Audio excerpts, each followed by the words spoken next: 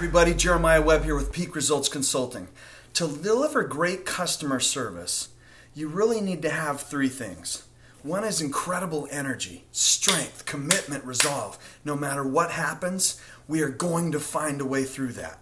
Number two is the ability to turn adversity to good. And that comes from a core belief that I want to talk to you about for just a minute here. And that core belief is, is that every problem is an opportunity. Every single problem is an opportunity. In fact, at our company, we believe that every problem happens at the exact right moment that we need it to happen for us to grow, to get better, to be refined, to come up with a new way to resolve things that we've never thought about before. And so what that means is, is that life doesn't happen to us, it happens for us.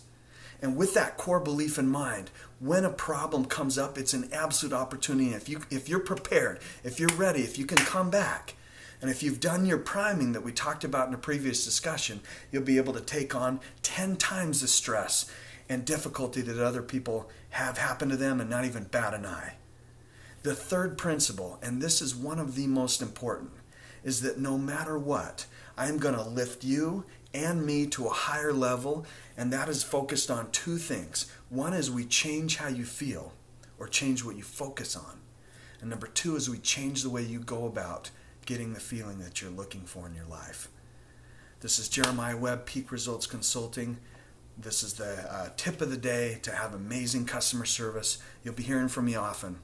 But please understand anybody at any time there's never a problem you cannot overcome. Never. There's always a way. Either you find a way or you freaking create a way out of thin air. But you can and you will get to a better place, more refined, stronger, more powerful than you've ever been in customer service and in life when you recognize every single problem is an opportunity. This is Jeremiah Webb. Have a great day.